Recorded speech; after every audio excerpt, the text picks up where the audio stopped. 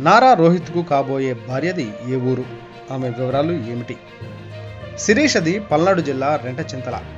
సినీ నటుడు నారా రోహిత్ పెళ్ళిపీటలు ఎక్కబోతున్న సంగతి తెలిసిందే. హీరోయిన్ శిరీషను ఆయన పెళ్ళి చేసుకోబోతున్నారు. వీరి నిశ్చితార్థం నిన్న హైదరాబాద్లో జరిగింది. ఈ కార్యక్రమానికి ఏపీ ముఖ్యమంత్రి చంద్రబాబు దంపతులు హాజరై కాబోయే భార్యాభర్తలను ఆశీర్వదించారు.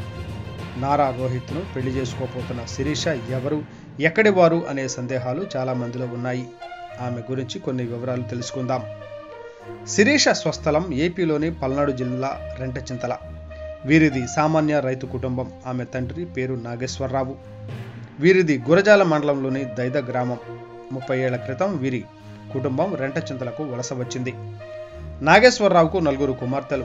కష్టపడి వ్యవసాయం చేస్తూనే ఆయన తన నలుగురు కుమార్తెలను చదువులు చదివించారు. నాగేశ్వరరావు పెద్ద కుమార్తె శ్రీలక్ష్మి రెంటచింతలలోనే అంగన్వాడీ సూపర్వైజర్గా పనిచేస్తున్నారు.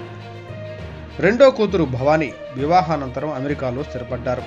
మూడో అమ్మాయి ప్రియాంక వివాహం చేసుకుని హైదరాబాదులో ఉంటున్నారు. ఆయన నాలుగో కూతురు శిరీష.